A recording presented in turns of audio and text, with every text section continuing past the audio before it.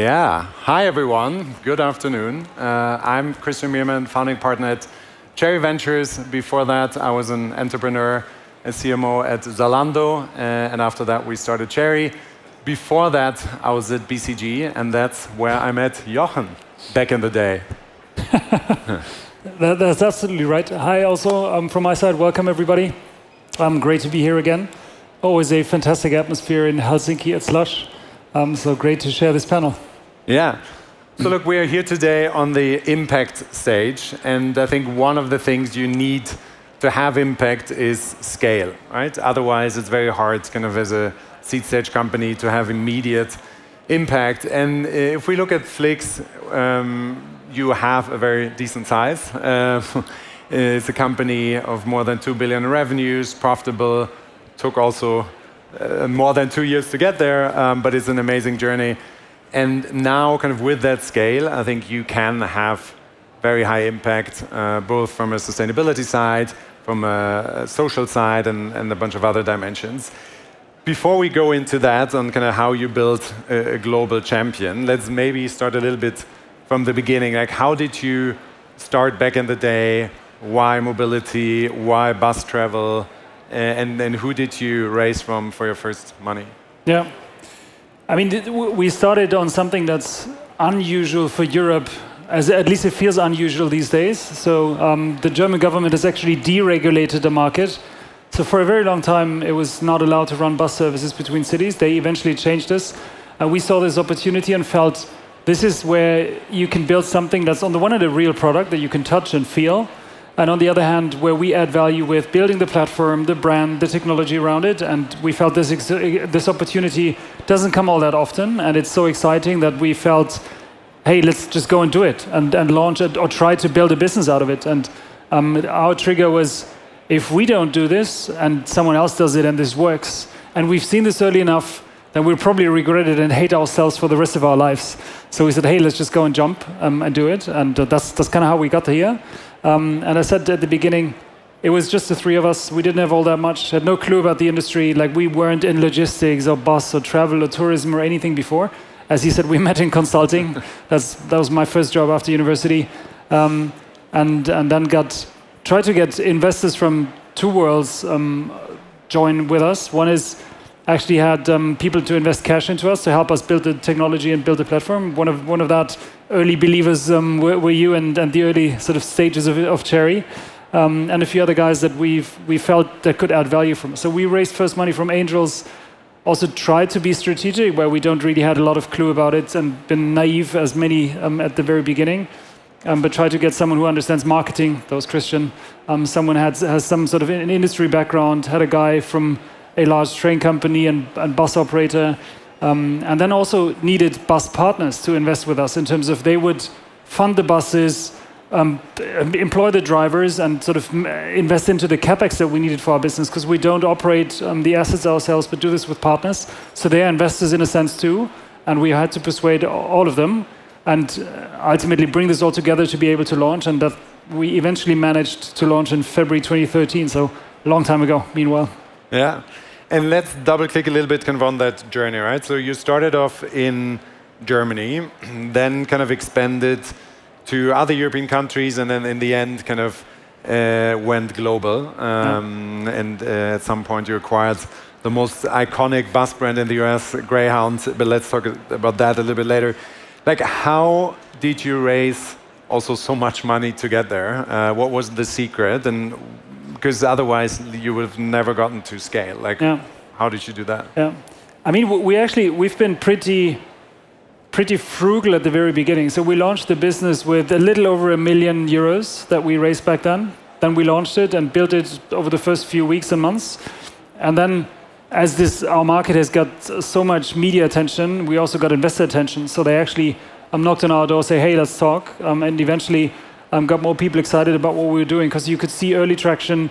There was customers using it. We could sort of show growth, um, a growth curve, and people believing or buying the product in that sense. Um, and that sort of may got investors excited. So you need to show some early traction. Um, then raise the first institutional round back then, um, and try to use again, be very frugal with that money. Try to show unit economics early on, make also our growth not like overly cash burning in that sense. So always try to strike a balance between growth and profitability. We've been far away from profitability back then, but always felt like you need to show a core of your business that works. Like the first line, the second line that works, where unit economics pick up and you can show that it actually works. And also marketing spend makes sense in terms of relative to your um, revenues. Um, so this worked. And then we've actually, we always had this vision of you will only survive in this market and build something that's sustainable for the long term if you're the biggest, the sort of have the best inventory, are most well known, have most efficiencies and synergies on the marketing side. So our big belief was we need to be the biggest. So we were like running fast at the beginning to put more buses on the street, build inventory, build more lines, connect more cities, and apart from us, nobody else was that aggressive. And I think this differentiated us from all the rest of in our market and all the competition to have this clear idea of what we believe this market needs to be won after all. And I think this is also what drove us to um, ultimately scale out of Germany. And in our case, internationalizing is very easy at the beginning because you can just connect a city in another country to Germany in that sense. So we went to Paris, to Vienna, to Zurich, to Prague, to um, the Nordics and, um, and connected this to our home market. But then build domestic businesses is the more difficult part. And this is where I think you need to be also growing up as an organization to hire the right people and also hire entrepreneurial talent in those countries to give them the freedom and independence and empowerment to say, this is your country. We give you all the tools, the technology, the infrastructure, all the push and support from headquarters, but you need to build this. Um, and I think this is something that in hindsight, we got right to get the right people on board and, and also have local entrepreneurs who are like, I own France, I build France, I own Italy, I will build this. And are really passionate about their country, their local mission, and their local entrepreneurial journey. Um, and I think this is what, we, what we've made work ultimately and what helped us then, then grow internationally. Yeah, cool. And if we look at your consumers, uh, I mean, you have millions uh, of customers every year. So how has that changed over time? I mean, sustainability has become more and more important, so people care about how do they travel from A to B. What does that do kind of with your product, with your requirements? Can you see a different behavior in consumers? Yeah. I would I would say there, there is a mind shift happening and like I think also if you look at Scandinavia where we're these days I think electric mobility is much more advanced than it is in most other places. Um, what we've seen though is at the beginning in the earlier years, people said, yeah, we look for sustainable mobility, but we're not really willing to pay for it. And you could, you could tell from, we had a little checkbox in our um, booking process to say you want to offset your trip, and it's a few cents, 20 cents to 70, 80 cents or so. It's relatively cheap depending on the trip distance. And only a small fraction of our customers actually ticked that box and paid that additional money. So you could tell that people claim to be um, focus on the environment and sustainability, but ultimately, if it's um, how much do you pay for it, this actually changes your mind. And I think this is this has changed over time, so that proportion is much higher these days. I think that people make more conscious choices around what do I consume, which products do I consume, and also which brands do I like. And this is, I think, also something that we've managed to, and not not by coincidence, but we're green as a brand, and we also position ourselves as this is sustainable mobility um, like versus any other alternative, you'll you'll have the better choice with us. It's more sustainable to be on a 50 or 70, 80 seat bus versus your own car, obviously against flights, but in most countries um, also even against trains. Um, so it's just the most sustainable version to travel. Um, and and I think this this increasingly plays a role in which product do I buy and also which brands am I loyal towards. And uh, just like with any consumer business, it's about uh, customer and brand loyalty long term. So you need to acquire them once, but you, you want to make sure they stay with you. And customer acquisition with aggressive marketing or low price at the beginning is the easier part. The more difficult part is really how do you build a long term loyal customer base that's loyal to your brand. Um, where you hopefully then not have to reacquire those customers over and over again and spend too much money on marketing. Absolutely, yeah. And um, if you look at your journey, like scaling also into so many different countries with different regulatory frameworks that you were facing, like what have you learned from that, and what do you think is kind of important for founders that work in regulated markets? Yeah, I, I guess first do not take regulation as an excuse to not build a business. I think if, if this is the case, then you should just not build, be in the business and be an entrepreneur there. So don't take this as an excuse. And at the same time, I think our mindset has always been hey, our market is regulated, we just need to work with it. And we need to be friendly with regulators, friendly with authorities, try to partner with them, help them with their job, make their lives easy to get across those barriers they put in place with the regulation.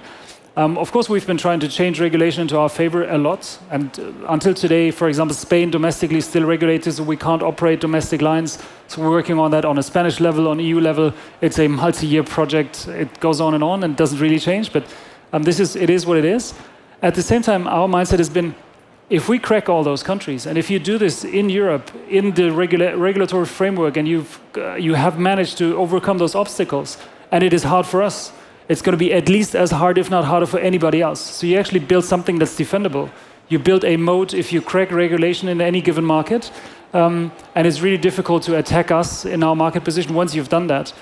At the same time, I would say, if we now look at expansion markets, we, regulation and the regulatory framework is one of the prime characteristics that we look at in terms of identifying which markets are we going next. And there's a few places that are just impossible for us to enter because regulatory framework is just so bad that it doesn't make sense. So there's no real access. So we'd rather put this aside, and there's so much other stuff to do. We focus on those markets where there's liberal access. We don't have all those high barriers, but can really freely develop our product, um, and that usually makes it easier. That's also why the US was a good market for us, um, and, and that's also how we prioritize on where we expand and where we invest our money. And if we zoom out a little bit now, and if you think at kind of the European tech level, what could policymakers do to foster entrepreneurship and make it easier for companies to scale so that you don't have to spend so much time in interviews and talking to politicians and regulators and, and whatnot? Yeah. I mean, we only have a, few minutes here, so this is going to be very long. Um, I'm sorry, but no, no, I mean, overall, I think it's no secret that Europe is heavily regulated, and I think um, governments and politicians have been overdoing it over the past few years. And um, I hope people are waking up latest with what happens around AI these days. And, and I think we're already falling behind, and you can see this on your iPhones where you don't have the functionality that the US and other countries are having. I mean, it's a nightmare, and it's actually it's pathetic for Europe. Period.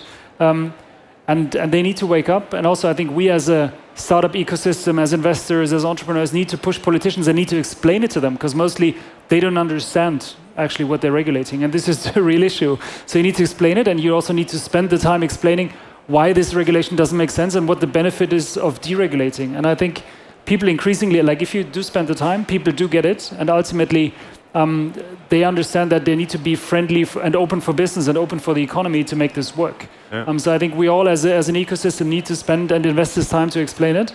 And then I'm positive that even the EU and, and um, European regulators will get it, that we need to sort of be more open. And it's okay to regulate, that's fine, but um, you need to uh, first sort of at least give people and businesses a chance to build businesses that work before you regulate too heavily. Um, and I think at the moment we do this vice versa, unfortunately. We regulate first and then try to be a bit more lax over time, and that's the right approach at this point. Yeah. And if you look in the future now, like what is what do you think are going to be fundamental breakthrough technologies that are going to change the world and then how people move, right? So is everyone going to fly with their own autonomous yeah. little plane from A to B in the future, and uh, no buses are needed anymore. Like, how, how do you look at this? Yeah, I, I do hope and I do think that buses and also our trains will be needed very long term. No, I think, I mean, for, for us in particular, and I'm, I'm not going to go into how is AI going to change the world, but like for our market, there's a few specific technology developments that are relevant. It's certainly electrification. This will just happen, period. There will be advancements on battery ranges and stuff so maybe not the next generation battery, but like two generations from now, I think we will have enough range to also put this at scale into our buses. Um, so this will happen. Autonomous is certainly a theme that's been there for a long time. We just yep. discussed backstage that the hype has been there a few years ago already. Now it's like that phase where people get back to reality, and it's still slowly um, happening. Um, so there was this phase where autonomous was only three or five years away, and this took for like 10 years, um, so a long time, but I, I think it's coming. Um, and for us, in the end, what it does, it helps people to not have to own cars and like those assets themselves. So mobility is going to be available as a service, and I think this is a massive advantage for us that people can not only rely in cities on public transportation, short distance mobility, etc., but also on long distance, you're not going to need your car. You can rely on us, you can rely on any other public services, long distance trains, also flights to some extent. Um, and because you mentioned um, sort of smaller planes and stuff, I would love to see this this vision and this, these, those products come true. So electric, smaller flies that you can use for also shorter distances or like more sort of um, focused um, things. I'd love this to come true. I have a hard time seeing that this actually scales to the amount of people that are willing, that want to travel. And just to give you an example, um, we just launched India a few months ago. There's every single day, there's a wait list for train tickets that's like a seven digit number of people. It's just impo I, impossible for me to imagine how you scale this in small planes that people can travel where they want. I think you need large vehicles. If you look at our buses, that's 50, 70, 80 seats in, uh, in, in some cases. The trains that we're scaling now, is like 800 to 1,000 seats. So this is really mobility at scale, and I think this is what you need, and that's also going to be there in a few decades from now. I think we should all embrace those new technologies, and we should embrace innovation around technology, but we should also, because we talk about impact at scale, try to be sustainable what, what we with what we have today, and just scale as fast as we can the solutions that we have. And I mean, if you look at energy um, generation these days, just about um, fusion power, and I, I, this technology is fascinating, and I hope we'll solve this from an engineering technology point of view as soon as we can. But for now, let's just build as much solar and wind as we can and as fast as we can to solve the problem that we have at hand. And I think this is also how we think about mobility. And we as a company, we're positioned to use whatever mean of mobility may be out there, and we'll just put it on our platform and we'll sell it because we have distribution, we have brand, we have marketing, we have everything there. That's fine. These days we have buses and trains, and this scales. This is what we do best, and that's why we scale it, and we continue to have impact at scale. Yeah, good. And how do you think about the the crazy stuff out there? Right? It's a hyperloop, yeah. all these little autonomous planes. Like, what do you think it takes? Kind of to get there, or will we ever get there? Actually, I, hope we do get there, um, and I think there's there's enough indication, there's enough evidence that we should be optimistic about those technologies coming into um, into the real world. Um, I don't know if again Hyperloop or like eVTOLs or something is something that will be available at scale for everybody at your fingertip, and you can just use it as a taxi. I don't think that's going to happen anytime soon. Um, but again, it's like with fusion. Of course, we should experiment with it. We should push technology. There should be investment going into this because this is what also humanity has advanced over the past 100 or 200 or hundreds of years to really push the boundaries. And I think we should continue to do that. Um, which one of those is going to be first and which one is going to be at scale at some point, I can't tell. I, I really don't know. I just think that, as I said, it's very hard to scale something against existing infrastructure. And existing infrastructure, unfortunately, is is roads, is rail tracks, is airports. That's there. And whatever you can scale on top of this infrastructure is so much easier to put into life and put into implementation and put at scale. Um, so I think those the models that are able to somehow combine and use existing infrastructure will be the ones that win. Yeah. Yeah, I mean, it's pretty clear that it's going to take billions yeah. of, to try it out, and then you know if it actually works. Okay. If you look at the more kind of recent or relevant technologies that you guys are using, like EVs and like where does that stand? Like, can you already yeah. integrate electric buses into the fleet, or is there an issue with reach? Like, what are the yeah. shortcomings? Yeah. What is working already? No, no, we've been. I, am afraid I have to say experimenting with electric buses for many years already. Um, we we keep pushing the OEMs. We keep also pushing our partners to try it out because ultimately it's not us owning those assets and owning those buses, and also we don't have to operate them in like real real life. Um, so we keep pushing it. At this stage, the range of the batteries in the buses is just not sufficient to do this at scale with like 80, 90, or 100% of our fleet. Um, so we do this selectively where we have shuttle services that do two, 300 kilometers, and we, we know we have charging points and you can sort of schedule charging events and stuff. So we do this. We're also experimenting with biogas um, instead of regular fuels, etc. So there's lots of stuff that you can do to bring your footprint, so your carbon footprint down um, already these days. And I said we try to set lighthouse examples, create early experiences, real operational experience in running this. And then I think the good thing, good thing for us is once the technology is a bit further, it's not that far actually. Like battery ranges continue to develop very quickly.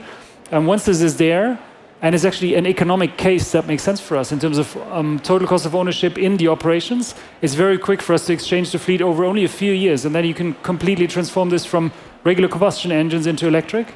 Um, so it's actually it's in reach, um, and we keep pushing it. It's not there yet, and again, also sustainable technology needs to be a business case in the end. And I think this is this is what also any founder needs to have it in the back of their head of we need to make this work at scale at a price that makes economic sense. And I think I said, we keep pushing with OEMs, with suppliers, with partners, with governments, with regulators, and just mentioned India. India is at the forefront of pushing electrification into fleets, especially also on buses. And again, we try to cooperate with all the different stakeholders to make this work and, and make this happen. Yeah. Okay, understood. So EVs getting there. Yeah. Uh, let's say autonomous driving, right? So if you go yeah. to San Francisco, you sit in a Waymo, it, you know, it works. Yeah. Uh, when are we going to board the Flixbus and there's suddenly no driver left? When have you boarded a plane with no pilot in it? Okay. So technically, it's possible yeah. today right? You don't need the pilot really to fly, and, and I don't know if there's any pilots in the audience who would disagree, but technically you don't. Um, it's a, it's, there's lots of psychology behind it, and I think again there we'll see a stepwise approach of. I mean, for us it would already be a game changer if we could do the the regular the regulated pauses that our drivers need to make while they're driving. So let's just assume he takes the first half an hour or so from the terminal to the highway, and then there's another hour where he can just relax and take his break um, and autonomous is taking over for a certain period.